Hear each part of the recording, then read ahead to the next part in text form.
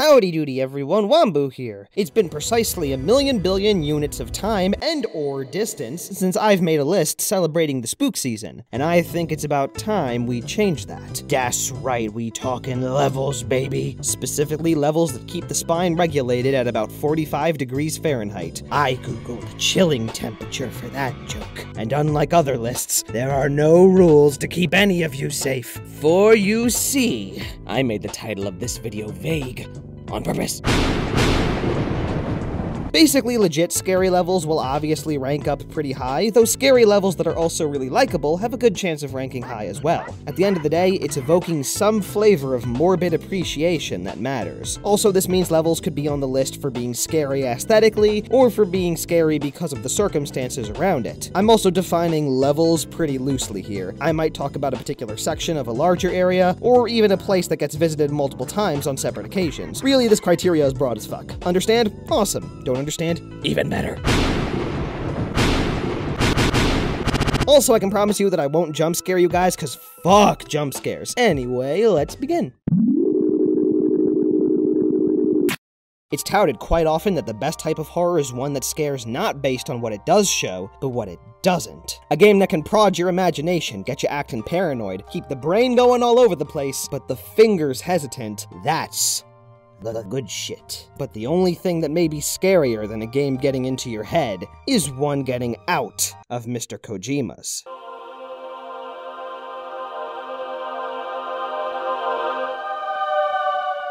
Legends tell that there has never been a design or narrative idea so stupid that not even Kojima would put it into a game. Such a lust for revenge?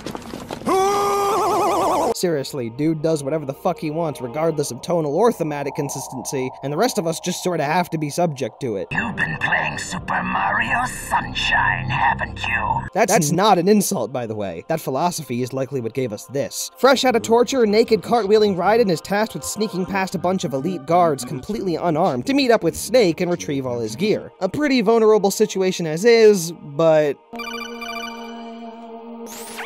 Is this Pizza Castle? I need scissors. 61. Uh, what? It's these too frequent for comfort codec calls from Colonel and Rose that really ice the cake. Rose is pretty happy to lay some cracks into the fourth wall, but it's the supposed Colonel that really flies off the handle here. In one call, he may be getting weirdly intimate, talking about alien abductions or financial troubles. In another, he might be referencing the first game, or he may just spout a bunch of what we in the professional business call fucking nonsense. It's not the sort of thing that will leave anyone anyone screaming in fear, but it's off putting, it's random, it gives the player a lot to think about, and above all else, it's just incredibly surreal.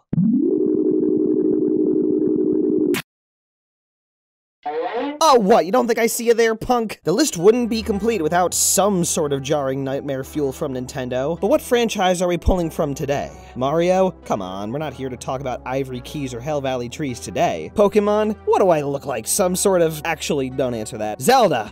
I know you've got something for me. So let's not beat around the bush, okay? We all know what the obvious pick is. No, the other obvious pick. No, the other other obvious pick.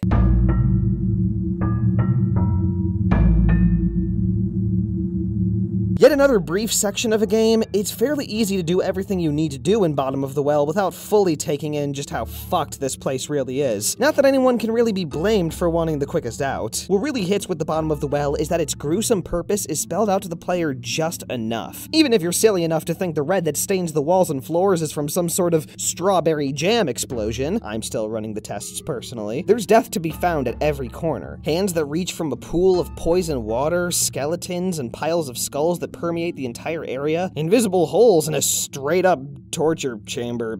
Fuck. And that's still not factoring in those that came alive again as either Redeads or Gibdos, both of which are found here alongside an assortment of other notorious enemies. But you know who the baddest of the bad boys is? It's me. But I'll also give you points if you said Dead Hand, an admittedly easy mini-boss who regardless manages to reveal more and more grotesque details the more you interact with it. Like the fact that it twitches when it dies, its blood is green in spite of the splashes on it being red, and the room you fight it in being textured entirely with skulls. And the fact that this, along with everything else we've talked about, has existed underneath Kakariko Village for presumably a long ass time, I invite you all to come to whatever conclusions can be made about that little tidbit. This next entry in our journey of spookdom goes out to all the Hollow Knight fans out there. Fuck Deep Nest!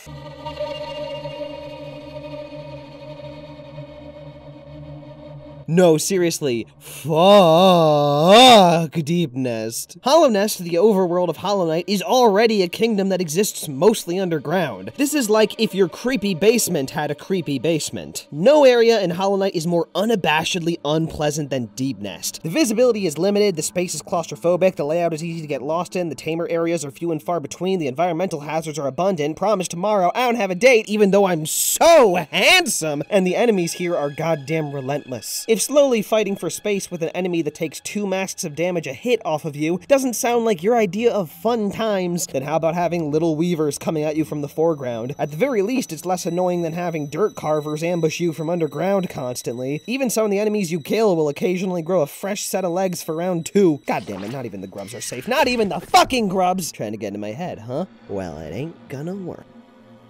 It worked. One more interesting thing to note is the presence of the failed tramway, which implies that they actually tried to build a fully developed transportation infrastructure in a place like this. And you're telling me that didn't work out? they got a hot spring in there at least.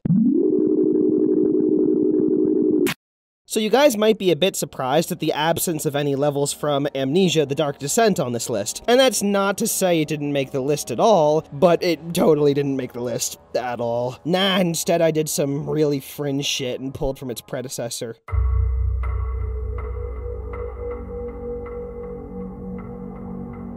Hey Wambu, this is a weird fucking bick, better start explaining. So, in Penumbra Black Plague, the protagonist explores a research facility post-virus attack, where most of the personnel have either been killed or turned into reanimated corpses. Your journey through the facility eventually lands you in its kennels, which in and of itself is a pretty bad omen, since infected dogs were the most prominent enemies of the first game. And not only are the dog houses in this area empty, but the sounds of barking and howling can be heard all around. Here's the thing, though. You don't encounter the infected dogs. And any dogs you do encounter are already dead. Uh oh. Rest in peace, puppos. You're pure beans. You're you're pure you're pure beans, all of you, even, even though you're you're dead. In fact, there are seemingly no enemies here, but approaching an area of intense darkness will give you the warning that something is crawling inside the walls, which, as we all know, is totally normal and not worth worrying about. Yes, it is. You're gonna fucking die. Eventually, you come across a report on the workings of the facility's chief overseer, Wilbur Frisk. After the virus attack, Frisk hid himself away in the kennels and developed a sort of kinship with the dogs, and by kinship, I mean he reverted back to a feral state and started eating both dogs and people. With this transformation came a fear of light, thus Frisk only attacks in areas of darkness. And any portions where you do have to move around in the dark require the player to block off the grimy tunnels in the wall that Frisk has dug himself. And at no point will you ever actually see Frisk, but very often you will hear him hustling to come get you. This sort of cat and mouse dynamic, it's pretty typical for horror, but rather than being chased or tracked down, your threat is always watching from inside the walls, waiting for his chance to attack. Sorry if any of you were already afraid of the dark, by the way. I am so thoroughly not helping. You know, they say home is where the heart is, but like. But like.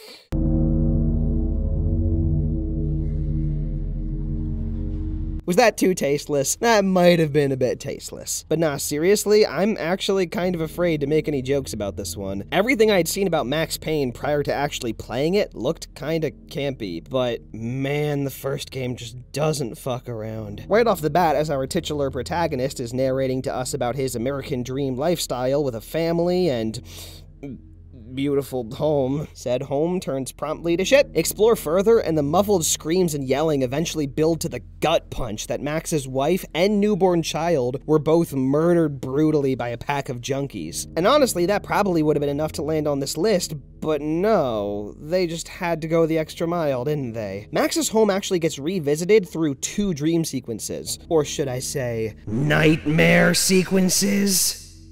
What do I not get lightning or anything for that one? Man, whatever. The nightmare sequences take us through a more abstract yet equally horrifying version of the house, with long maze like halls, bloody pathways, the constant screams of the deceased wife and child, and in the case of the second nightmare, fire. And all of it is explored through this slower, spacier movement, which forces the player to take it in, even if they were to rush their way out. And above all else, that might be what lends Max's home all the more potency. It's not just horrible and traumatic, it's inescapable. And on a chilling note, that's how the Womboy does it.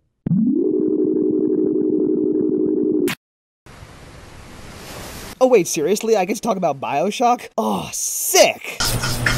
No, wait, not sick, not sick, not sick at all. Who, who's sick here? There's no such thing as sick. Don't be silly.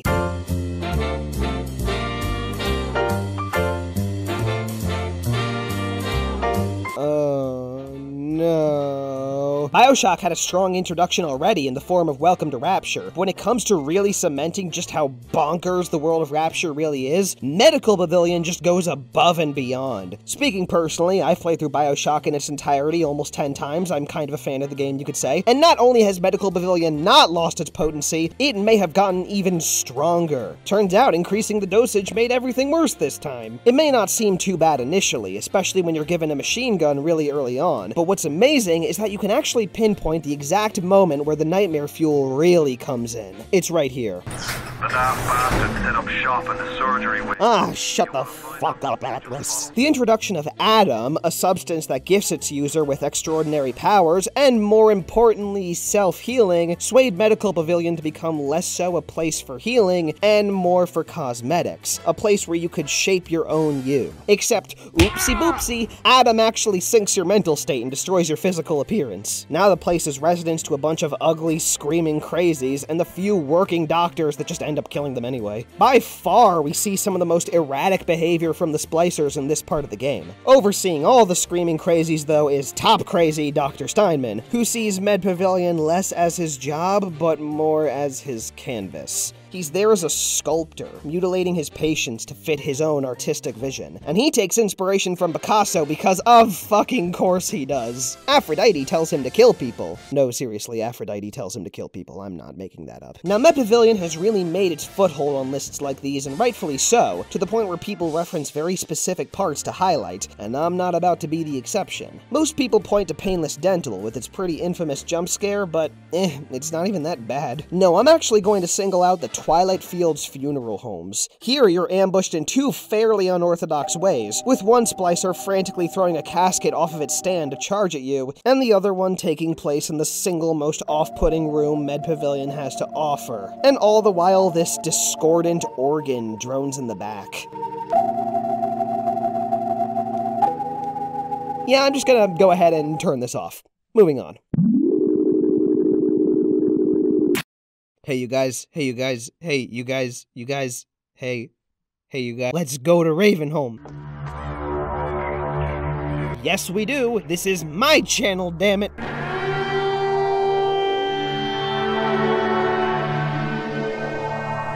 Looking back, Ravenholm above all else was a risk, and here's what I mean. This is the place you go to shortly after getting the gravity gun, a weapon that by all means should make for maximum piss taking. Like, no doubt the players would gear up for a physics playground, and then this is what you get. There's so many ways this weapon could have torn apart any sense of fear, but it just lands regardless. It's quite the departure from fighting the oppressive organization that is the Combines, even though it totally still has their stink all over it. Ravenholm was originally a secret secret stronghold for refugees that escaped the Combine controlled City 17. Once it could no longer fly under the radar, though, the Combine launched a bombardment of headcrabs their way, and the headcrabs followed suit. I think what's so effective is the constant air of loneliness. The more you travel up and around Ravenholm and the more enemies you encounter, the more it sinks in that this place was well and truly wiped. Okay, well, there is the priest, Father Grigori. His mental stability is questionable, but he throws a shotgun at you, and in general, I kind of enjoy his company. Compounding that sense of loneliness, though, is the fact that aside from right at the beginning, there is no soundtrack. Just the ambient noises, which only really serves to make the desolation feel even more real. It also helps because the predominant enemies of this area make some of the most horrific noises you will ever hear in a video game.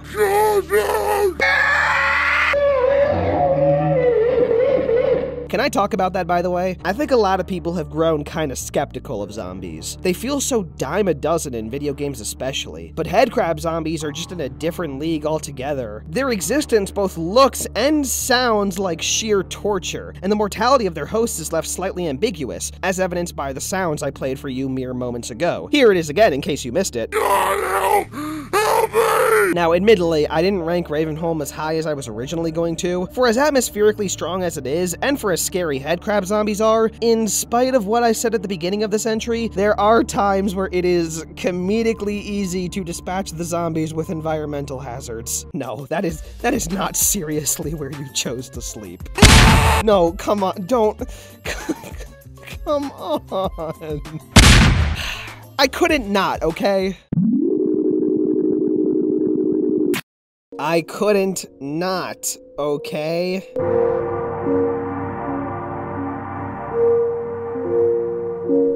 Yeah, this list just doesn't have any boundaries because fuck sensible expectation. It's the spook season, okay? I just want to have fun. It's been a little while now since this game stopped being playable. You're you're just the fucking worst, Konami. But in case you forgot, PT does not stand for psychological torture, though that would be pretty apt. It actually stands for playable teaser. And looking back, it really says something that this sampler basically bodied every horror game of that year. Well, except maybe Alien Isolation. FNAF was also huge back then then. Also, Whistleblower totally redeemed Outlast after its dumpster ending, and I am getting very sidetracked. The entire experience is just one area. It's the same hallway looping over and over again. The first time you go through it, someone on the radio basically goes, So yeah, three families dead. Any other hint of what's going on pretty much is never given to the player directly. With each loop, the corridor starts to change, sometimes in very subtle ways, and sometimes in a bit more obvious ones. In order to progress, you gotta be looking out for even the smallest changes, which by its very nature forces the player to observe and maybe even appreciate the game's attention to detail. Maybe the radio has something more to say, or maybe there's something with this photo. Maybe the game will nudge you towards its bathroom, or maybe it'll nudge you towards your real life bathroom. And all the while, there's always that looming sensation of being followed, because you totally are, by the game's ever-present apparition, Lisa. There is one major jump scare involving her, which I won't show because I'm a man of my word, you're welcome, fuck jump scares, but I will say it's kind of brilliant in that it makes the mere act of turning around one of the most anxiety-inducing things ever. I'm serious, when I looked up footage for this game, I grabbed all the nearest paper bags and hyperventilated into all of them. Oh, well, thanks, game. It's kind of gross looking, but I guess it could do the trick. I could do nothing but walk. And then, Okay, okay. The paper bag is talking to me. But yeah, on the whole, this is easily one of the scariest places a game has put me in. For an environment so repetitious, it was wholly unpredictable.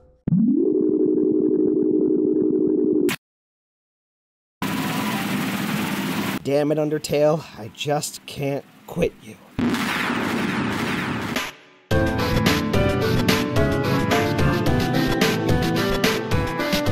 So, here we are. Coming off the goofs and gaffs of dating a weird porcupine woman, Undertale took such a bizarre shift in tone where the typical charm was still very much present, albeit estranged, and my god, I couldn't love it more. The True Lab on the outset is one of the more lonely areas in the game. NPCs are nowhere to be found, and the encounters are no longer random, yet it's less so abandoned and more frantically hidden away from the rest of the world. Thankfully, reading the monitors scattered throughout the lab shows us what the deal is. Originally, this lab was used by the aforementioned porcupine woman Alphys to hospitalize fallen monsters and extract their souls to try and break the barrier that separates monsters from the rest of humanity. Problem is, doing so kills the monsters. So, to sustain their life force, Alphys infused them with a healthy dose of human determination, which seemingly worked until it didn't. Now, the dark, grimy halls of this weirdly laid out hospital act as more of a prison for its newly mutated patients. The amalgamates, above all else, are what makes this area punch as well as it does. They make for the weirdest encounters in the game, and they're all just horribly grotesque. But what's amazing is that this is in the pacifist route specifically. Your only option is to befriend these guys, the same way you would every enemy before them. And why not? They still have families on the outside that are waiting for their return. It's Alphys who keeps them sequestered in here for fear of having to confront her mistakes. That is, until you go down there. You can see why I have kinda mixed feelings on Alphys, by the way. True Lab as a whole, on the other hand, look, my love for this place is unbridled. It's got a powerful story behind it, some really creative monster designs with their own humanizing features, and it still sees the player doing something good. It'll fuck you up one second and hand you a nice bag of potato chips the next. It's basically perfect. Perhaps this was the real reward for the pacifism the whole time. I'm fucked up.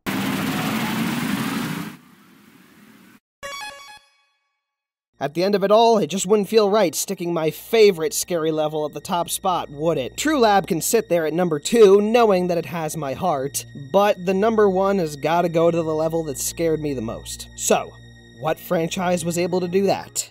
Oh, good. And, uh, which game in the franchise? Oh, good. Uh, so what level exactly? Oh, good.